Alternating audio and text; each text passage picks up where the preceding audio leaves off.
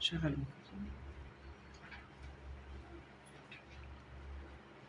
أيوة.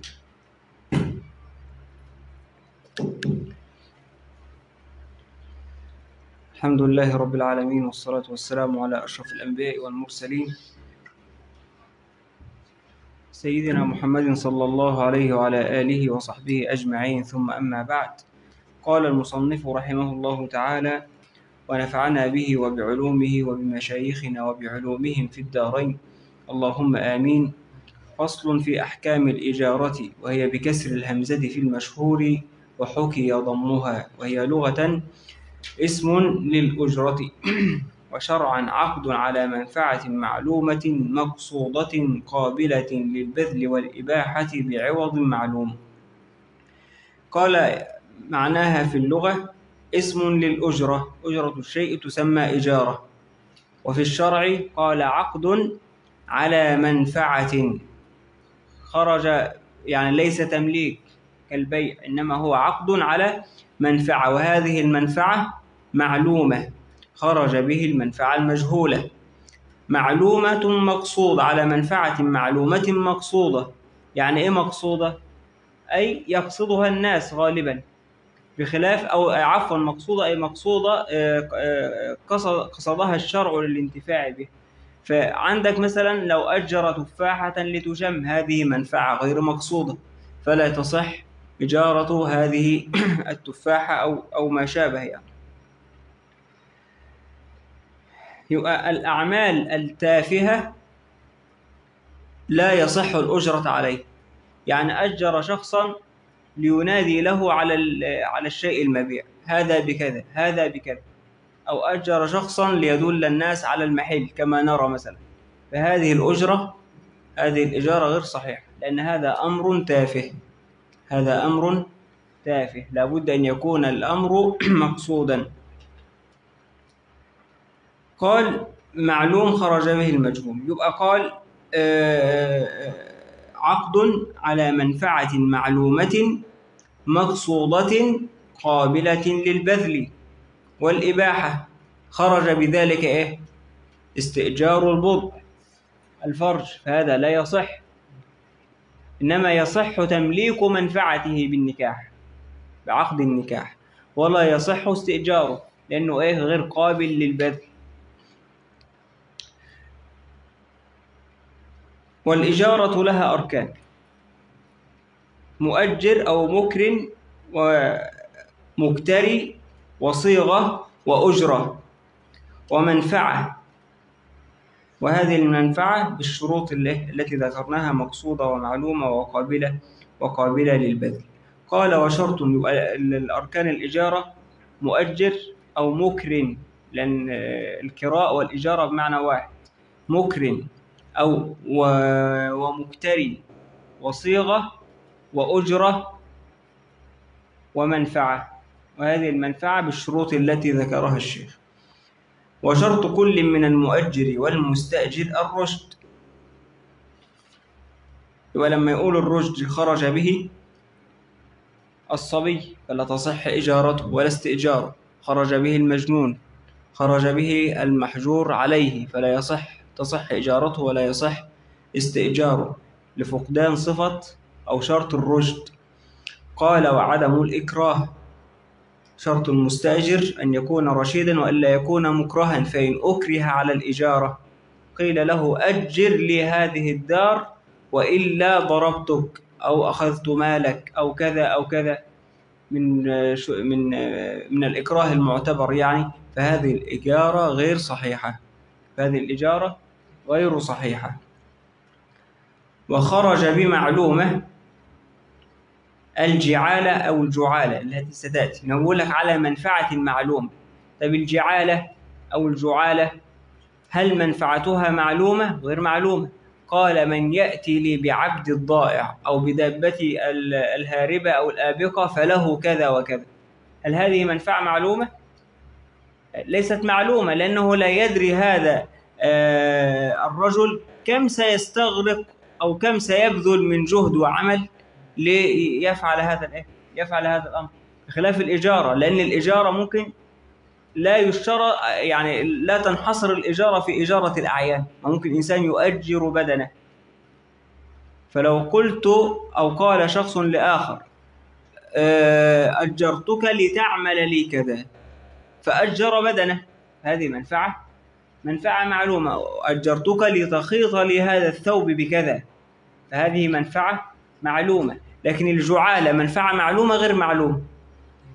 لأن العبد الآبق لا يدري هذا العامل كم سيبذل من عمل وكم سيبذل من جهد ليأتي له بإيه؟ بدابته الآبقة أو بعبده الآبق. صح؟ وقال لك منفعة معلومة خرج بمعلومة الجعالة أو الجعالة. قال وبمقصودة خرج به الأمر التافه كإيه؟ كاستئجار تفاحة لشمها. هذا لا يصح لأنه غير مقصود. تمام؟ آه، قال وبقابلة للبذل منفعة البضع فالعقد عليها لا يسمى إجارة. ولو أجر البضع أو المرأة أجرت البضع. حرام لا يصح. لكن البضع منفعته تملك للزوج بالمهر بالنكاح. لأن النكاح كما سيأتي تمليك إيه؟ تمليك منفعة البضع للزوج بهذا العقد وبالمهر المهر للزوجة يعني. وبقابلة للبذل خرج بها منفعة البضع فالعقد عليها لا يسمى إجارة إنما يسمى نكاحا. قال وبالإباحة إجارة الجواري للوطء هو يصح إجارة الجواري رجل عنده جواري. فأنت ذهبت إليه تستأجر جارية تستأجرها لماذا؟ تستأجرها لعمل البيت تنظف البيت. هذه إجارة صحيحة. لكن استأجر جارية لأجل الوطء هذا لا يصح لأنه إيه؟ ليس مباحا حرام. يبقى قابلة للبذل آه، خرج بها النكاح منفعة الوضع لأنه نكاح ليس إيجار. وبالإباحة خرج به إجارة الجواري لأجل الوضع وبعوض هو قال لك إيه؟ شرعا عقد على منفعة معلومة مقصودة قابلة للبذل والإباحة بعوض معلوم. خرج بعوض الإعارة. أنا أعرتك هذا الكتاب لتقرأه. هذه الإعارة في مقابل مال؟ في مقابل مال يعني أنت قلت لي أريد هذا الكتاب أسبوعا أقرأه. قلت تفضل. أعرتك إياه. هل هذا بمال؟ لا ليس مقابل عوض. لكن قلت لك أجرتك هذا الكتاب أسبوعا بكذا. هذه إجارة. والإجارة تختلف عن الإعارة. لأن الإعارة ماذا؟ الإعارة عقد جائز. أما الإجارة عقد لازم. تمام؟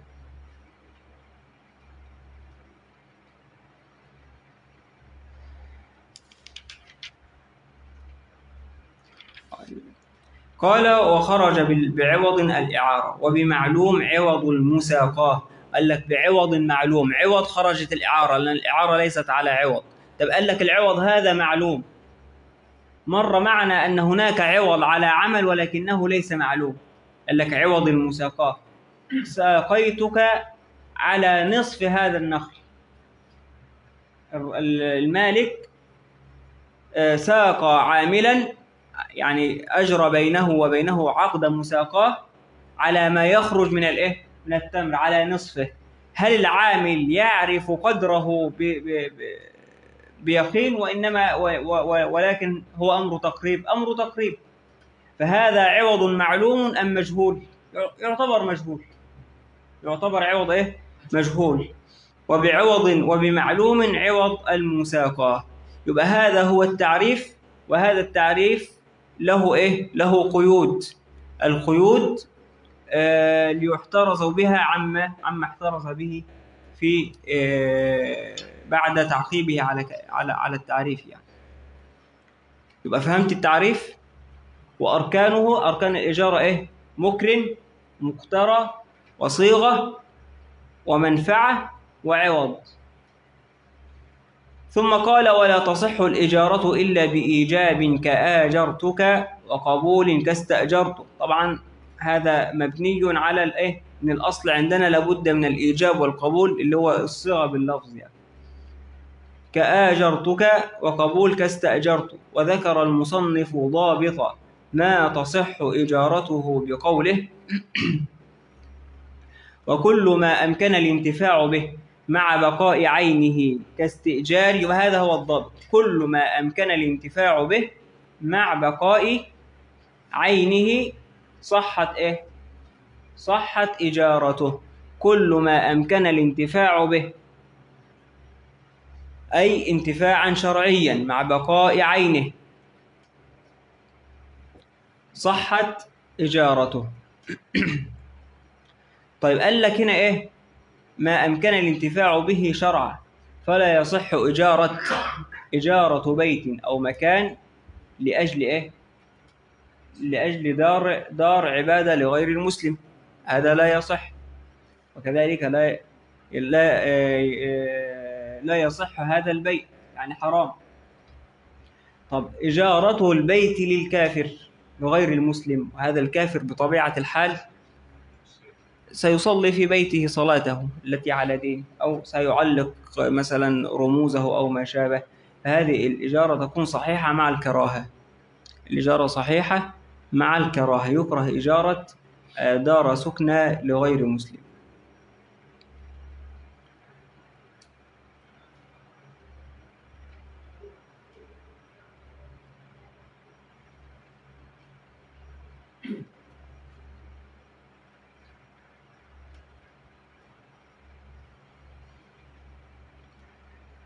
قال لك كل ما أمكن الانتفاع به مع بقاء عينه. يعني إيه مع بقاء عينه؟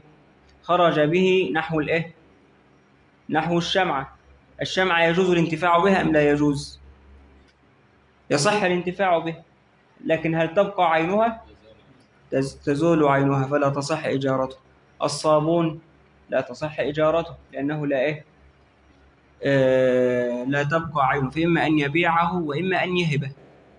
لكن لا يؤجر. وكل ما أمكن الانتفاع به مع بقاء عينه كاستئجار دار للسكنى. صح؟ دار للسكنى ودابة للركوب صحت إجارته. وإلا فلا أي وإلا إيه؟ وإلا ما لا يبقى عينه أو ما لا يمكن الانتفاع به شرعا لا تصح إجارته. ولصحة إجارة ما ذكر شروط ذكرها بقوله إذا قدرت منافعه بأحد أمرين يبقى لابد من الإجارة أن تقدر بأحد أمرين بمدة أو عمل. الإجارة تقدر بمدة أو إيه؟ أو عمل. يعني أقول أجرتك أو استأجرتك لتخيط لي هذا الثوب. هذا ذكر عمل أم ذكر مدة؟ ذكر عملا. أو استأجرتك أسبوعا لأجل البناء. ولم يحدد له ولم يحدد له يعني عملا معينا. وإنما قال لأجل البناء ذكر المدة يصح. لكن الجمع بين المدة والعمل لا يصح. يعني يقول له أجرتك ساعة لتخيط لي هذا الثوب. يبقى جمع بين العمل والمدة لا يصح. لأنه ربما تكون الإيه؟ يكون العمل يستغرق وقتا أكثر من المدة التي حددها فيحتاج إلى أو يكون فيه ظلم للعامل فيحتاج إلى عمل أكثر أو إلى مجهود أكثر. يبقى يجمع تقدر الإجارة بمدة. أجرتك أسبوعا لأجل البناء ولكن لم لم يحدد عليه عملا معينا لم يكن له لبناء هذا البيت في أسبوع أو لبناء هذا الدار في في شهر. لم يحدد له عملا معينا. أو قال أجرتك لتبني لي هذا البيت دون أن يحدد له دون أن يحدد له مدة يصح. أما الجمع بين المدة بين بين الزمن ومحل العمل لا يصح. كقوله كقوله استأجرتك ساعة لتخيط لي هذا الثوب. يبقى جمع بين الايه بين الزمن ومحل العمل. فلا يصح لا تصح هذه الايه لا تصح هذه الإجارة قال إذا قدرت منفعته بأحد أمرين. إما بمدة كأج كآجرتك هذه الدار سنة أو عمل كاستأجرتك لتخيط لي هذا الثوب. وتجب الأجرة في الإجارة بنفس العقد.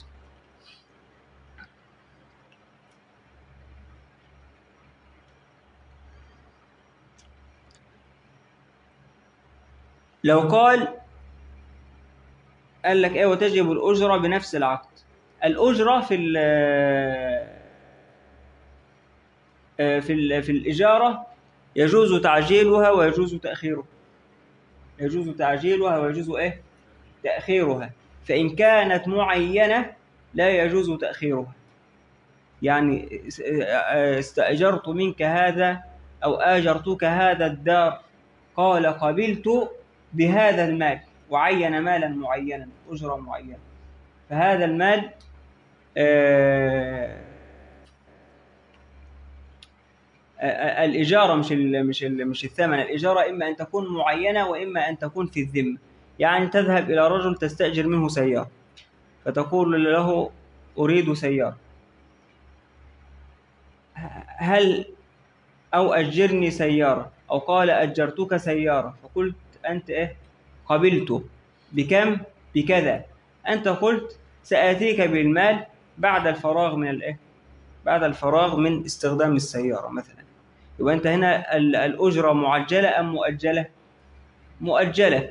في هذه إن أجلت الأجرة في هذه الحالة لا يصح أن لا يصح أن يؤجل الإيجار. لابد أن يحضر العين المؤجر. لأن سيكون إيه؟ إيجار الدين بدين. أنت أجرة الأجرة في ذمتك والعين المؤجرة في ذمتك. لكن لو قلت له أريد أن أؤجر هذه السيارة فقال أجرتك إياها بألف جنيه. قلت أنت له سآتيك بالمال بعد استخدامها. قال قبلت فأعطاك السيارة. وهذه الإجارة معينة. هذه إجارة معينة لابد من تسليمها في العقد أما لو كانت الإجارة غير معينة أما لو كانت الإجارة غير معينة وال والأجرة غير معينة لا يصح واضح ولا مش واضح؟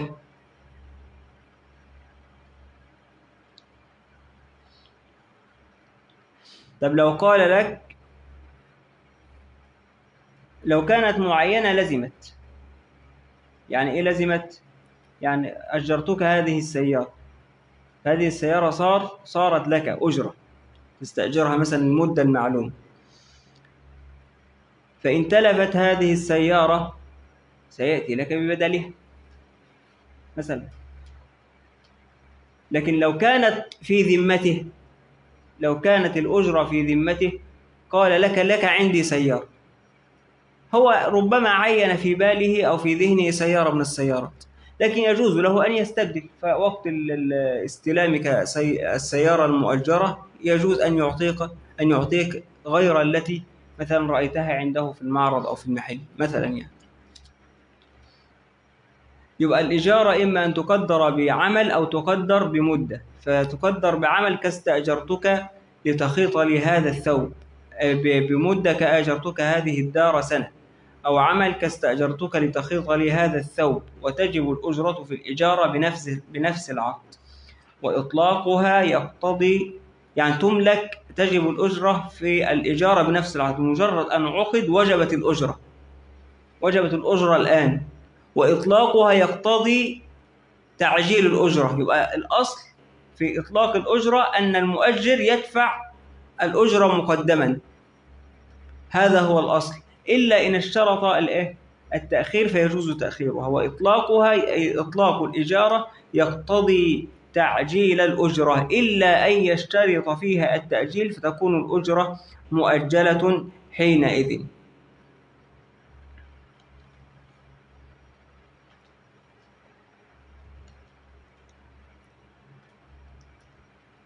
يبقى لو كانت الأجرة مؤجلة هل يصح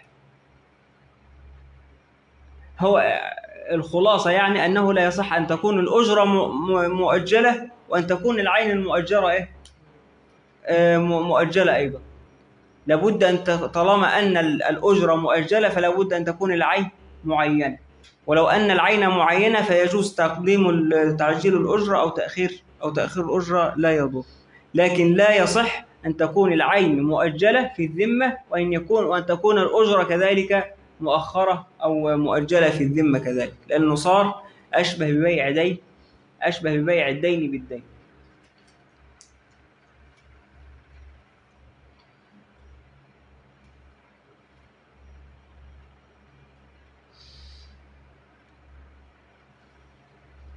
قال ولا تبطل يبقى لو هو قال لك في ذمتي سيارة. فقلت أو أج- آجرتك سيارة في ذمتي. يوم كذا تستلمه. قلت أنت له قبلت ومال الأجرة بعد شهر. بطل العقد. بطل الإيه؟ بطل العقد لأنه صار أشبه ببيع الدين بالدين.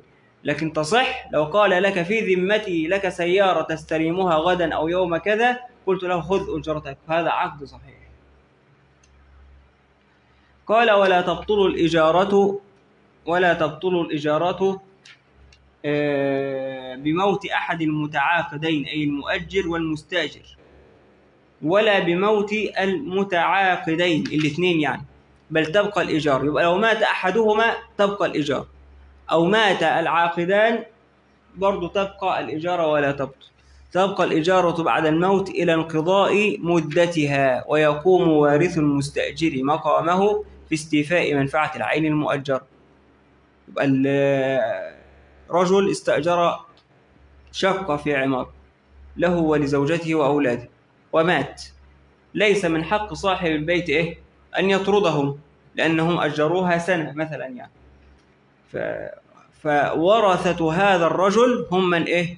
يستوفون حق. آه، الاستنفاع أو منفعة العين المؤجرة.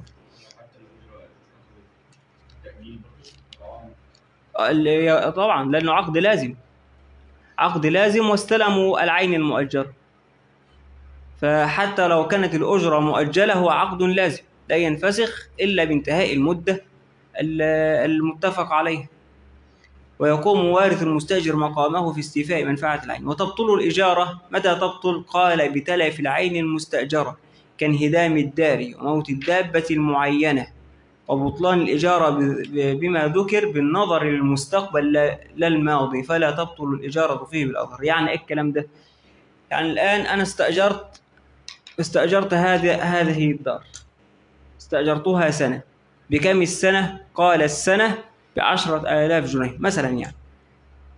بعد ستة أشهر قلت له سأعطيك العشرة آلاف آخر السنة. فسلمني العين المؤجر. بعد ستة أشهر انهدمت الدار. بطلت الإجارة. يعني إيه بطلت الإجارة؟ يعني بطلت الإجارة في الستة شهور ال- الآتية. وإنما لا تبطل في الماضية فيستحق المؤجر قسطها. فستة أشهر ستة أشهر نصف المدة يبقى استحق نصف الأجرة. وتبطل في الآتية. يبقى هنا انفسخ عقد الإيه؟ عقد الإيجار هذا إذا كانت معينة. إذا كانت طب لو كانت في ذمته أنت ذهبت له قلت له أريد سيارة للأجرة يوم كذا. قال لك بألف جنيه. قلت له خذ. هل عين لك سيارة من السيارات؟ لم يعينها في ذمته فالسيارة التي هو يؤجرها أو سياراته كلها تلفت. فجئت أنت في اليوم المحدد. تطالبه بالسيارة. قال لك تلفت. لا تبطل الأجرة بل يبقى في ذمته أن يحضر لك سيارة ولو ليستأجر لك سيارة أخرى. فلا تبطل الإيه؟ فلا تبطل الإجارة إلا لو تفاسخ. يعني إيه؟ أنت رضيت أن تأخذ مالك وتنصرف. لكن طالما أن المستأجر لم يفسخ العقد فمن حق المؤجر هذا إذا كانت العين المؤجرة في ذمته أن يحضر له بدله. يبقى العين المؤجرة إن كانت معينة فتلفت. العين المؤجرة. بطلت الإجارة في ماذا؟ يعني بطلت الإجارة؟ بطلت الإجارة في المستقبل. لكن لا تبطل فيما مضى. يعني تبطل في المستقبل. يعني ليس من حق المؤجر أن يأخذ أجرة الستة أشهر المقبل. هو يأخذ يأخذ فقط ال- ال- الذي سكنه أو الذي استعمله أو ومش شرط يستعمله. الذي آه، الأيام التي كانت قبل الهدم يعني إنسان أجر شقة ولم يسكن لم يدخل. وظل مؤجرا لها شهرين مثلا ولم يدخلها ثم انهدمت الدار. وجب للمؤجر أو للمؤجر له أجرة الشهرين وإن لم يستخدمها بالفعل لأنه ملكه إياه وخلى بينه وبينها. لكن ليس من حق المؤجر أن يطالبه بأجرة السنة كاملة. لأن الإجارة بطلت في المستقبل ولا تبطل فين؟ ولا تبطل في الماضي. يبقى كان هدام الدار المعينة قال لك المعينة كان هدام الدار وموت الدابة المعينة وبطلان الإجارة بما ذكر بالنظر للمستقبل لا الماضي فلا تبطل الإجارة فيه في الأظهر. بل يستقر قسطه من المسمى باعتبار أجرة المثل. فتقوم المنفعة حال العقد في المدة الماضية فإن قيل كذا يؤخذ بتلك النسبة من المسمى.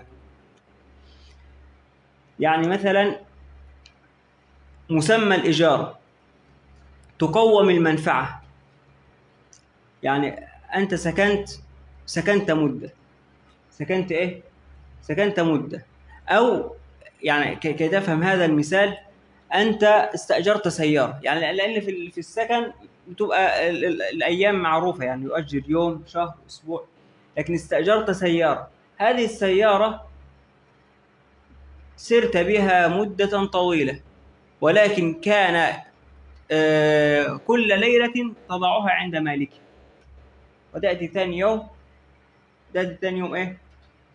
تأخذها لأنك مؤجرها شهر مثلا. يعني فتلفت دون دون تفريط منك. أنت أجرتها أسبوعا أنت أجرتها أسبوعا ب آه، بألف جنيه. وبعد ثلاثة أيام أو بعد يومين تلفت. يأتي أهل الخبرة يقولون هذه المدة التي أنت أجرتها هذا الاستهلاك. سافرت بها إلى مدينة كذا وكذا وكذا وكذا. استهلاك هذا الاستهلاك يعادل كم؟ من الإجارة. قال والله يعادل ربع الإيجار يبقى له ربعه. يعادل نصفها يبقى له نصف الإيه؟ له نصف الأجر. وهكذا. وننظر إلى المنفعة. ركب دابة. ركبها كم ساعة؟ هو استأجرها ثلاثة أيام. ركبها ركبها ثمانية وأربعون ساعة متواصلة مثلا. وهو نستهلك كم من المنفعة؟ ثلثي المنفعة. صح؟ ثلثي المنفعة لأن 24 ثلث و24 ثلث هو استأجرها ثلاثة أيام فاستخدمها 24 ساعة 48 ساعة 48 ساعة كم تساوي كم من المنفعة؟ ثلثي المنفعة. يبقى المؤجر يستحق كم من الأجرة؟ ثلثي الأجرة.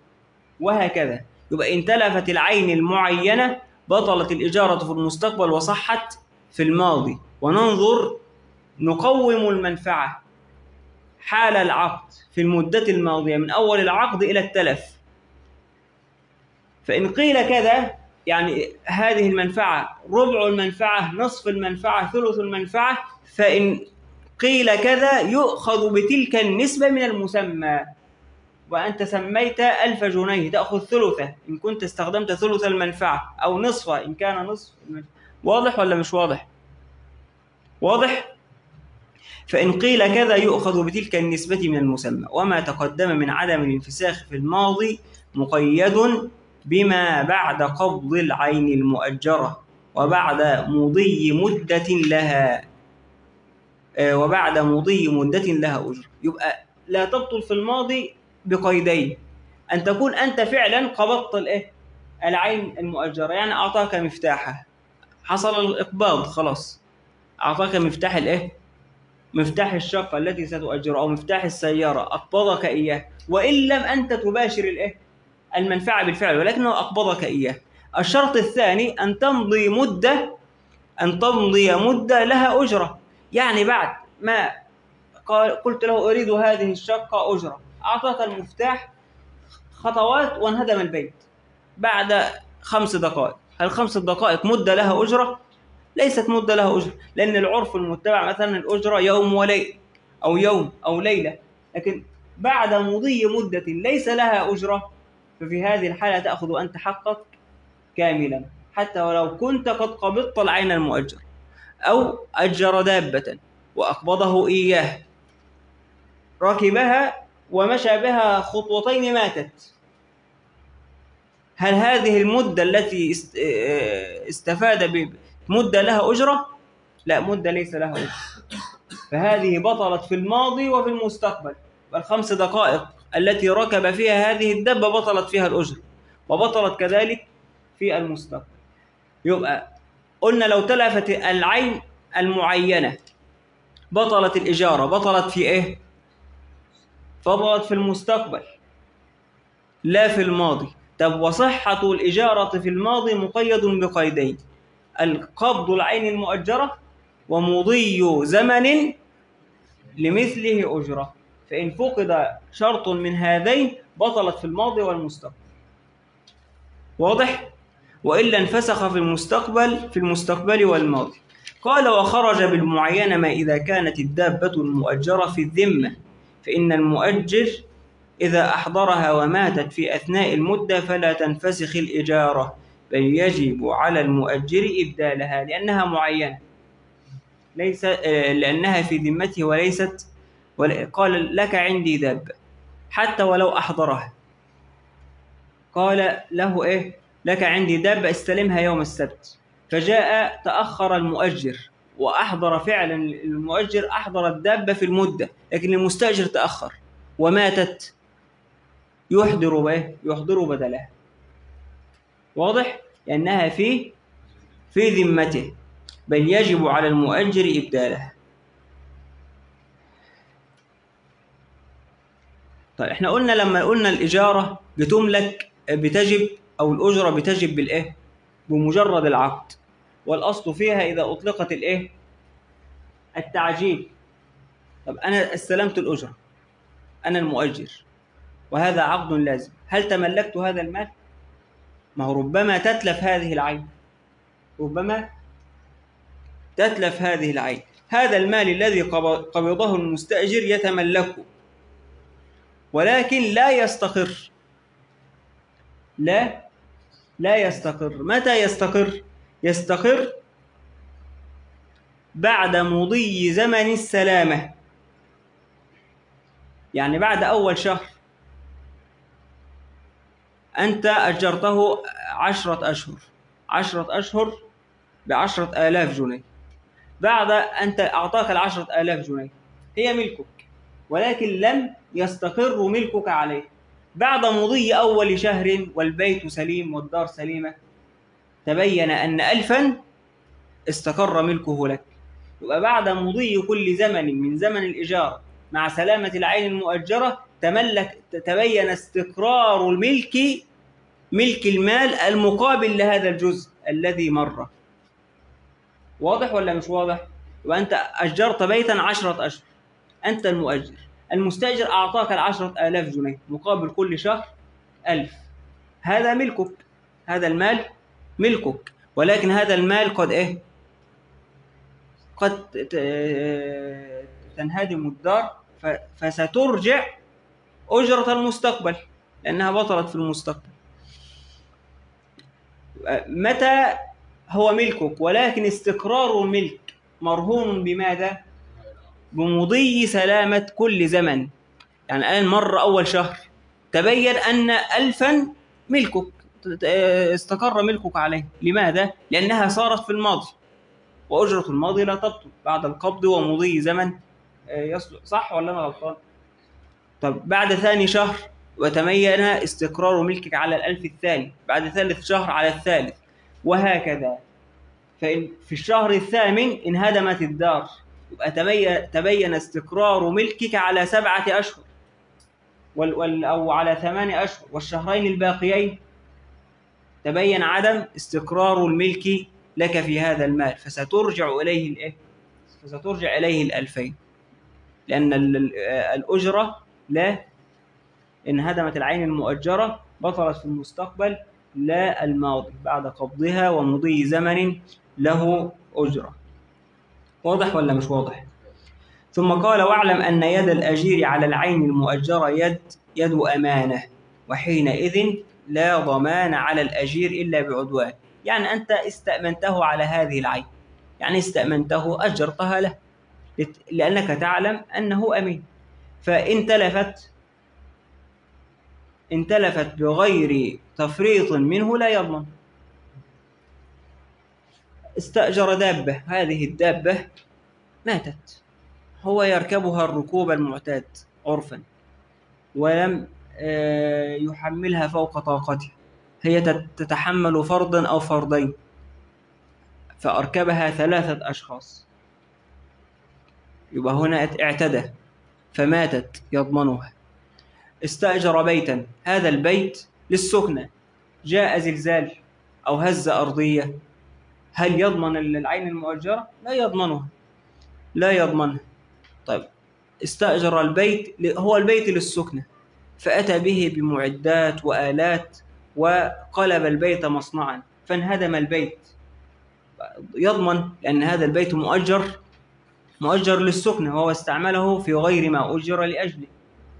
أنت استأجر بقرة للسقيا ليسقي بها الزرع أو ليرفع بها المال أو ليحرث بها الأرض.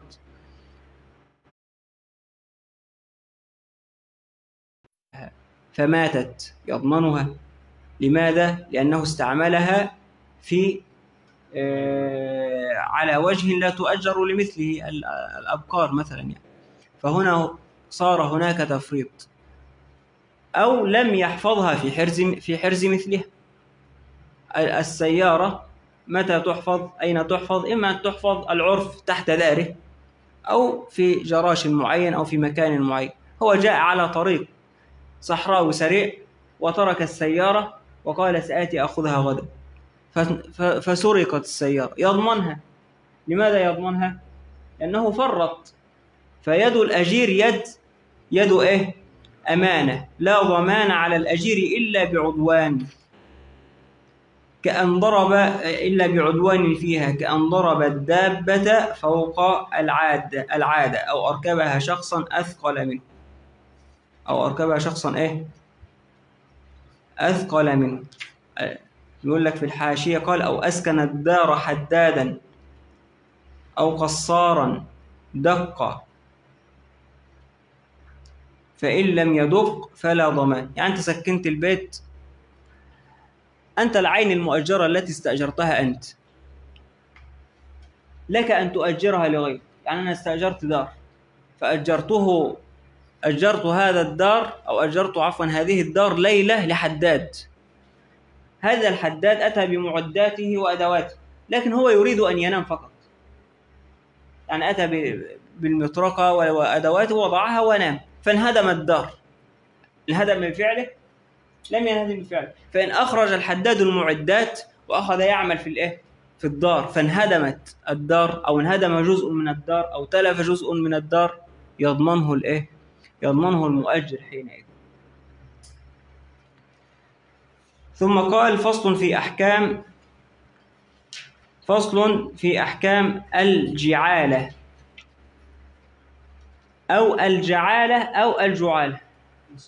أحكام الإجابة ذكر المصنف وكل ما أمكن الانتفاع به مع بقائه يعني مثلا في إندونيسيا كثير خصوصا في بلد استئجار المزرعة هذا يصح نعم يستأجرها. لكن تجمع بين المدة والعمل. مثلا أنا كالمستأجر استأجرتك هذا المزرعة لثلاثة أشهر لزرع البطاطس مثلا. هذا يصح هنا لم يجمع بين بين المدة والعمل. هنا مثلا بعض الأراضي إن زرع فيها غير البطاطس ربما ضرها. مثلا يعني الله أعلم يعني. لكن فيقول أنا أؤجرها لأجل زراعة البطاطس. لأن هذه الأرض أكثر ما تصلح له هي مثلا زراعة البطاطس. فلو زرع فيها شيئا آخر ربما يضر بالأرض مثلا اللي هي أصل الأصل ملك الإيه؟ المالك